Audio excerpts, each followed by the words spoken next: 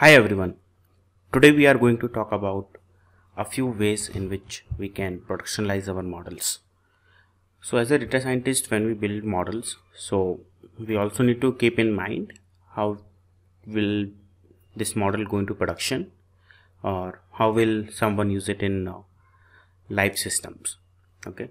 So I'm going to use this iris dataset from sklearn datasets. So load iris loads uh, data within this data object. Let's see what all does it contain.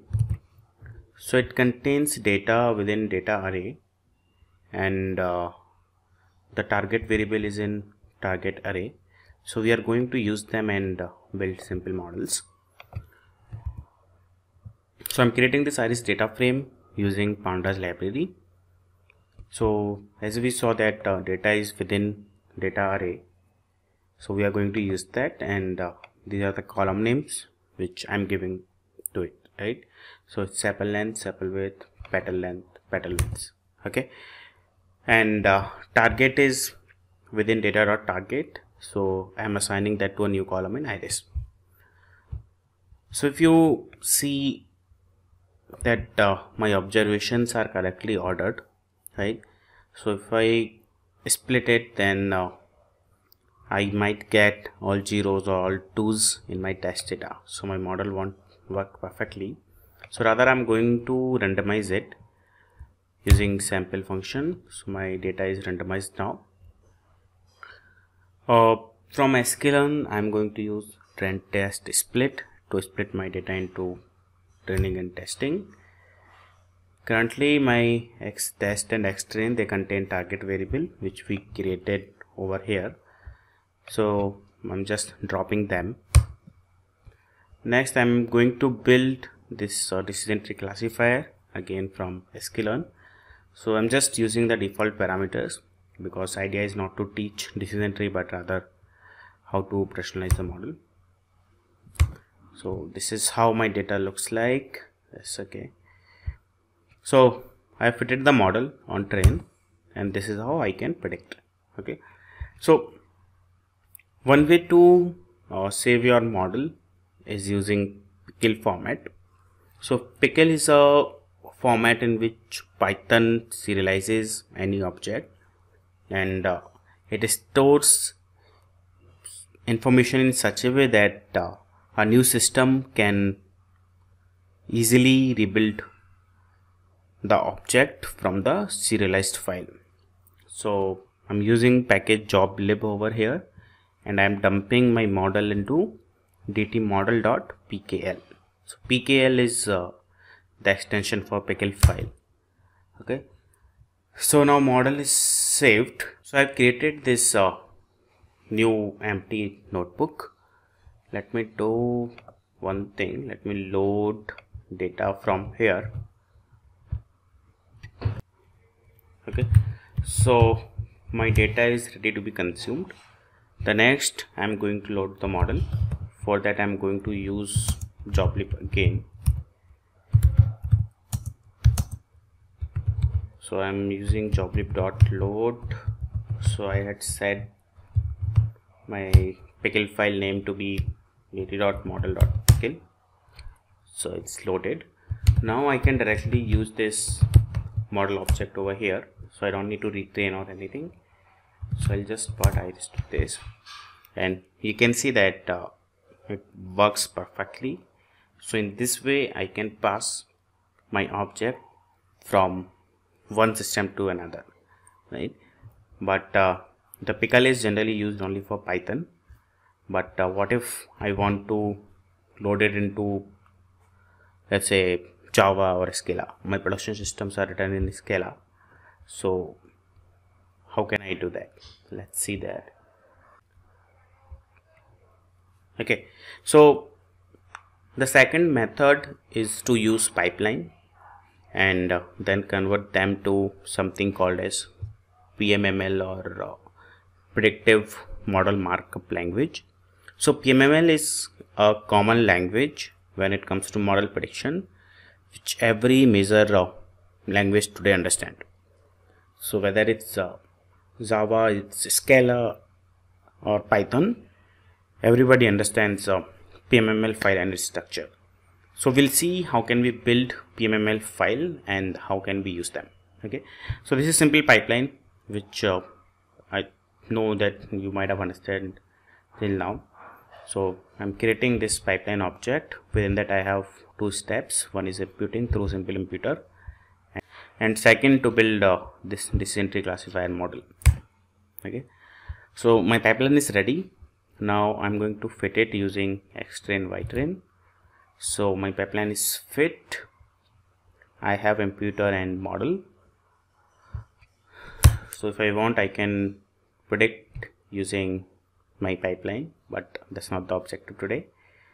So today what we are going to use is uh, this package called sklearn2 pmml so there is one more package known as uh, nyoka nyoka which I can use to convert a pipeline into PML files. Okay, so the syntax is pretty similar. So I am importing two sub modules from sklearn to PMML, sklearn to PMML and uh, make PMML pipeline.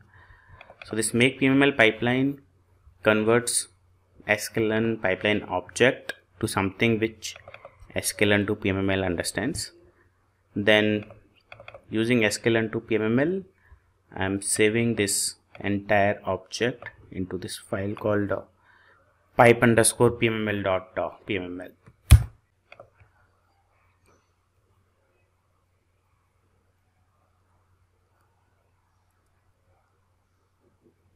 Okay, so PMML is a pretty smart way of uh, storing your data points, right? So it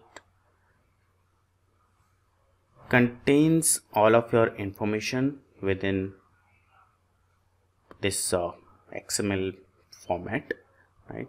So let's go to the tree directly. So the entire decision tree it has converted into this format which every language understands. So what it is essentially doing is this is my node 0 and uh, there are some 36 observations which went here. So if my x3 value is less than or equal to 2.44 then there are 36 observations which are in class 0 and uh, 0 observations in class 1 and 2 right? Similarly for uh, x4 if it is less than equal to 1.75 then all of them are going to 1 right? So this way it has uh, created the model so that any other language can understand it easily okay? So this is about pmml and uh, pickle objects. So currently pmml is supported for majority of sklearn models being it uh, uh, XGBoost, random forest, your or decision tree, and even for unsupervised learning problems. Let's go and see one more way. So I hope you understand what uh, API is. So API is a uh, you can understand that it is a service which is uh, exposed to external clients right so for example uh, when we are logging into facebook using our user id and password. We are actually sending that two objects for facebook authentication api and it returns whether user is authenticated or not to our browser and ultimately facebook lets you in right? So we are going to use the similar concept using apis so we are going to host our model using something called as flask api so using flask i can host any kind of uh, response I want to get from the client or want to return from server. Okay. So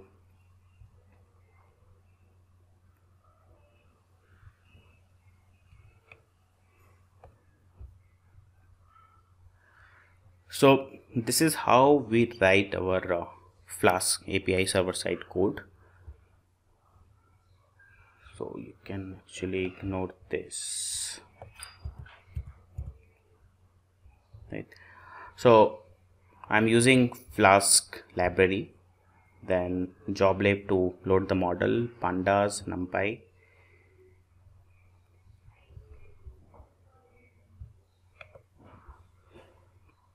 Then I'm creating two sub routes in my API the one is home which is doing nothing but uh, returning hello world. Okay?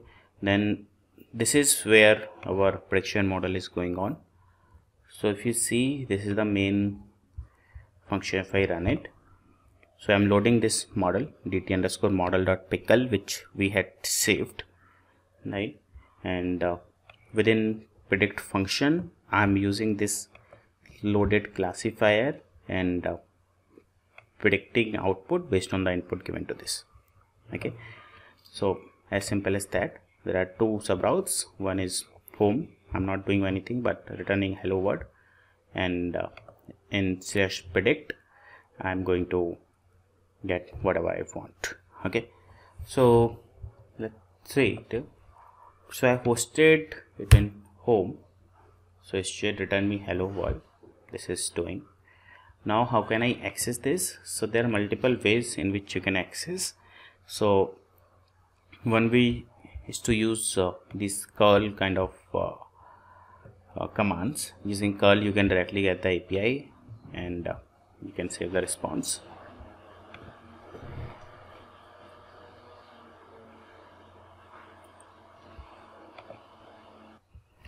Or you can create uh, this kind of requests while sending data.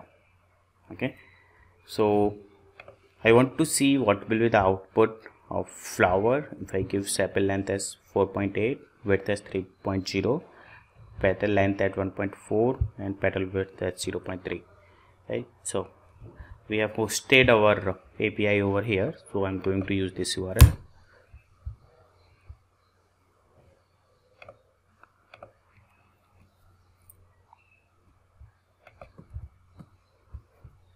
okay. So as you can see that uh, we have received our output as zeroth class. Let's see whether this is correct or not. Just a second. So let me copy this uh, first or second observation from here. And we can see the class is 1 now let me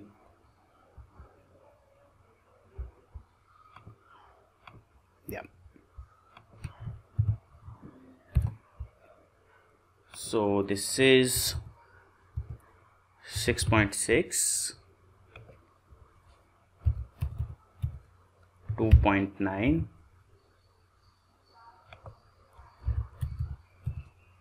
4.6 1.3 let's see what do we get. So we correctly get one is the predicted class. So our flask api is working fine. So these are a few ways in which you can productionalize your model. You can choose pickle files if you are working from python to python. But if you are going from python to some other language like uh, java scala or anything then you should prefer using PMML objects and the objective is to serve over API then you can use Flask as the route. So thanks for today. We'll see you in the next class.